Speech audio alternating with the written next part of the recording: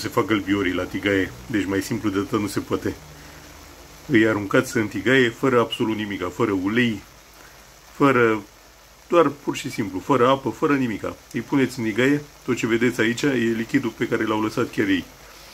Deci e incredibil cât apă pot să lasă ciupercile ăștia. Și când, când se evaporă, când, când dispare lichidul, atunci aruncați un pic de ulei sau unt să-i căliți un pic. Dar în rest, la început, absolut nimic nu puneți în ei.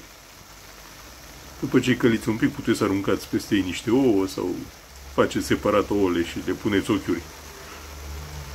Dar mai simplu de atât nu se poate. Over and out.